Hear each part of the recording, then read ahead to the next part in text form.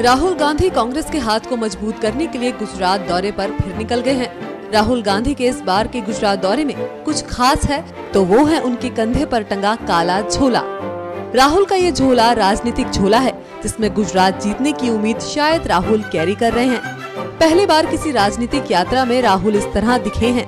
अगर आप राहुल के पूरे हाव भाव को देखें तो काफ़ी फ्रेश दिख रहे हैं और उत्साहित भी।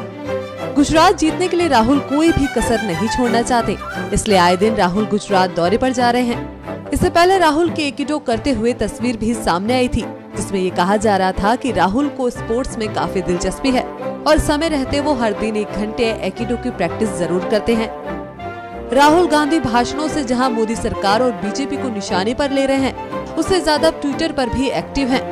ट्विटर पर राहुल ने अपने कुत्ते की वीडियो डालकर सवाल उठाने वालों को भी मुँह तोड़ जवाब दिया था।